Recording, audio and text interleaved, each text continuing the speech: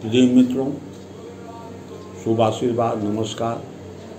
मैं ज्योतिषाचार्य पंडित नरेंद्रनाथ पांडे, मध्य प्रदेश ग्वालियर से बोल रहा हूँ। आज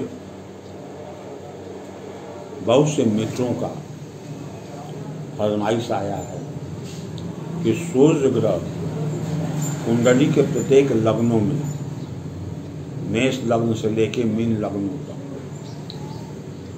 क्या प्रभाव है? किस प्रकार का हानि लाभ देता है? ये आपके सामने प्रस्तुत कर रहा हूँ।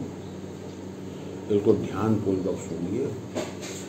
आप लोग के सहयोग के लिए, मेरे प्रत्येक वीडियो में, मेरा फ़ोन नंबर दिया हुआ है डिस्क्रिप्शन में भी दिया हुआ है।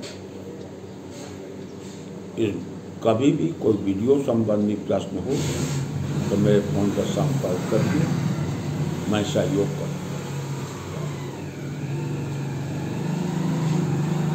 जिसका मेष लग्न है, उसमें सूर्य बैठा हुआ है। ऐसे लोग बहुत भाग्यशाली होते हैं, पूर्ण समझदार होते हैं, विद्वान होते हैं, कर्मठ होते हैं और अपने कर्मों में पूर्ण सफल होते हैं। जिसकी कुंडली में ऋषभ लग्न हो, उसमें सूर्य अगर बैठा हुआ है, दोस्ती अच्छा नहीं है। यह मनुष्य को कभी उन्नति नहीं करने देता है, कभी आगे नहीं बढ़ने देता है, इनका जीवन संघर्ष में रहता है। जिसकी कुंडली में मिथुन लग्न हो, उसमें सूर्य अगर बैठा हुआ ऐसे लोग माता पिता के धन दौलत से वंचित रहते हैं, ऐसे लोग मानसिक तनाव में रहते हैं, ऐसे लोग की कल्पनाएँ, सोच भिन्न भिन्न होती है। जिसकी कुंडली कर्क लग्न की है। उसमें अगर सूर्य बैठा हुआ है, ऐसे लोग पूर्ण शिक्षित, विद्वान होते हैं, अच्छी सोच होती है, अच्छे कर्म करते हैं। जिसकी कुंडली सिंह लग्न की है, उसमें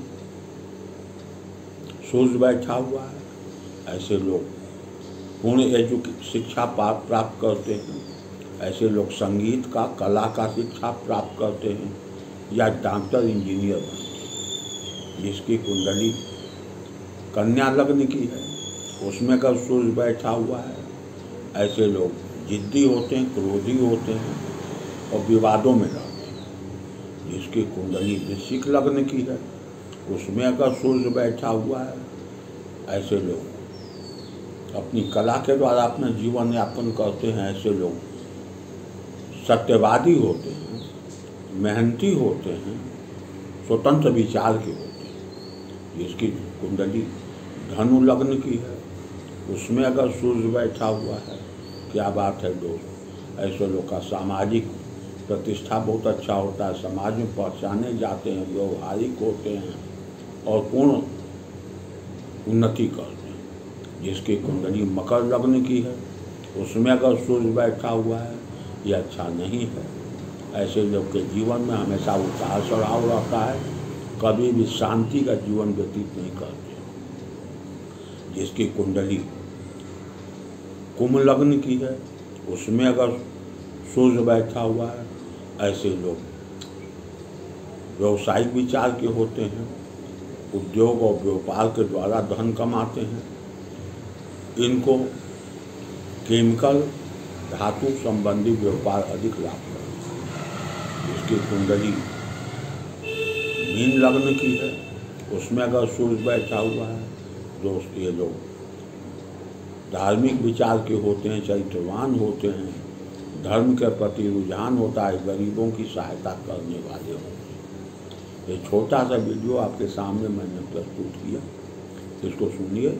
इससे संबंधित कोई प्रश्न हो तो मेरे phone number nine four two five three zero eight triple one पर संपर्क करिए। इतना काफ़ी वीडियो समाप्त कर रहा हूँ। नमस्कार।